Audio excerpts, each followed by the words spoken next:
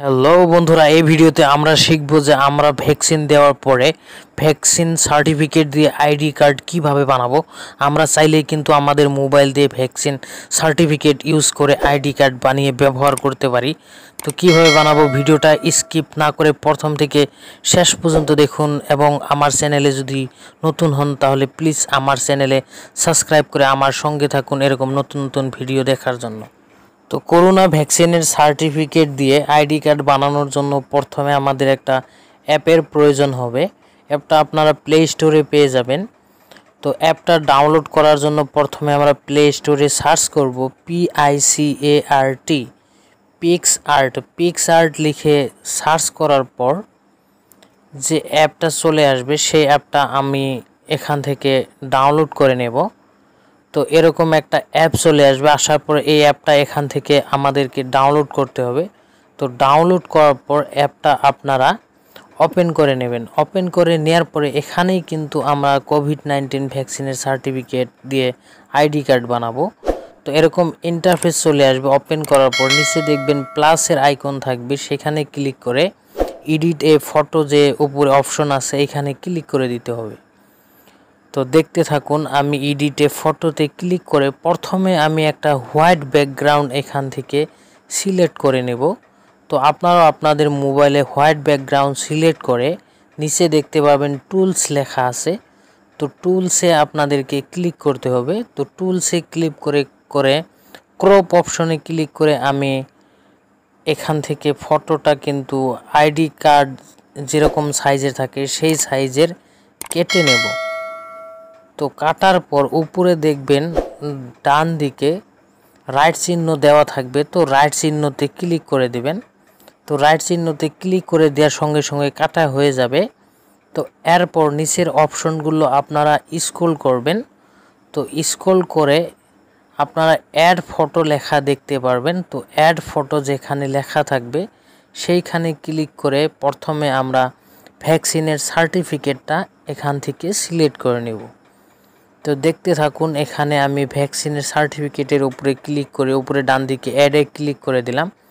Click করার পর নিচে দেখতে পারবেন কয়েকটা অপশন আছে। এর ভিতরে ক্রপে ক্লিক করে আমি লেখা যতটুকু আছে, ঠিক ততটুকু এখান থেকে এইভাবে কেটে নেব।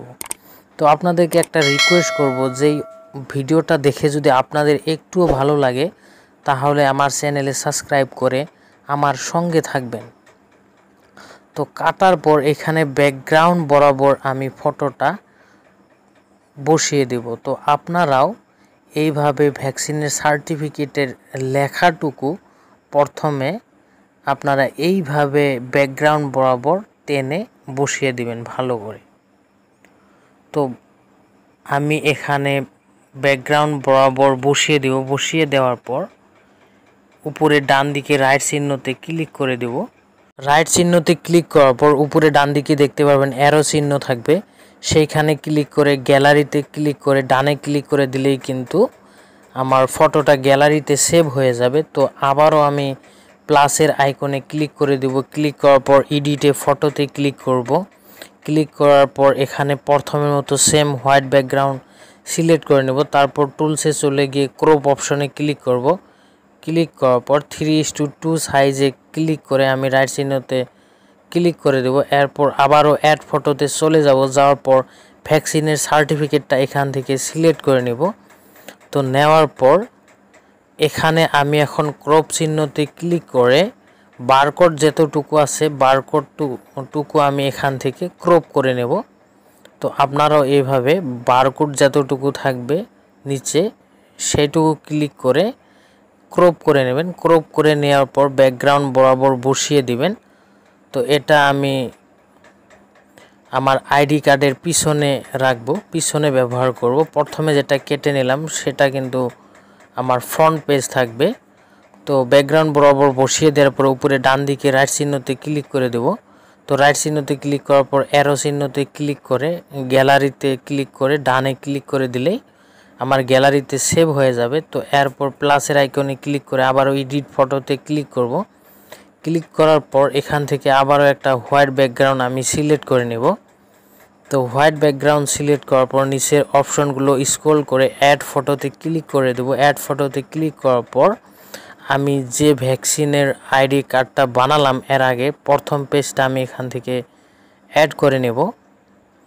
তো অ্যাড করে নেওয়ার পর এখানে হোয়াইট ব্যাকগ্রাউন্ডের উপরে বসিয়ে দেব।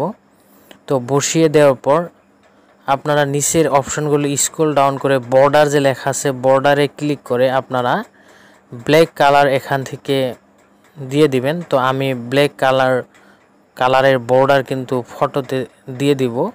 তো দিয়ে দেওয়ার পর উপরে ডান দিকে রাইট চিহ্নতে ক্লিক করে দিলেই কিন্তু আমার ফটোতে বর্ডার চলে আসবে। তো তারপর আমি পিছনের সাইডটা এখান থেকে সিলেক্ট করে নেব। তো সিলেক্ট করার পর এদিকে আমি ডান দিকে বসিয়ে দিব। তো বসানোর পর নিচের অপশনগুলি স্ক্রল করে আবারও বর্ডার সিলেক্ট করে নেব ব্ল্যাক কালারের। তো বর্ডার সিলেক্ট করার পর উপরে ডান দিকে রাইট চিহ্নতে ক্লিক করে এভাবে এখানে বসিয়ে দেব। বসিয়ে দেওয়ার পর আপনারা যদি চান এখান থেকে আপনার আইডি কার্ডের ব্রাইটনেস বাড়াতে, কমাতে পারবেন। তো আপনারা যদি আইডি কার্ডের ব্রাইটনেস বাড়াতে, কমাতে চান, তাহলে সিলেক্ট করে নিচে অপশনগুলো স্ক্রল করে অ্যাডজাস্ট যে লেখা থাকবে অ্যাডজাস্টে ক্লিক করলে আপনারা এখান থেকে কিন্তু আপনাদের আইডি কার্ডের ব্রাইটনেস বাড়াতে, কমাতে পারবেন। তো এরপর অ্যাডজাস্ট করে আপনারা কি করবেন? উপরে ডান দিকে যে রাইট চিহ্ন লেখা থাকবে তো সেই রাইট চিহ্নতে ক্লিক করে দিবেন। তো রাইট চিহ্নতে ক্লিক করার পর আবারও রাইট চিহ্নতে ক্লিক করে দিবেন। তো আমি রাইট চিহ্নতে ক্লিক করে দেব।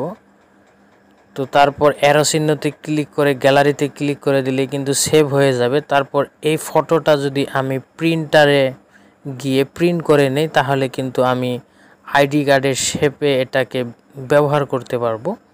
তো দেখুন, আমার গ্যালারিতে এখানে কিন্তু ফটোটা সেভ হয়ে গেছে। তো এইভাবে আপনারা আপনাদের মোবাইল দিয়ে ভ্যাকসিনের সার্টিফিকেট এডিট করে আপনার আইডি কার্ড বানিয়ে ব্যবহার করতে পারবেন। তো আজ এই পর্যন্ত আশা করি সবার কাছে ভিডিওটা ভালো লাগছে।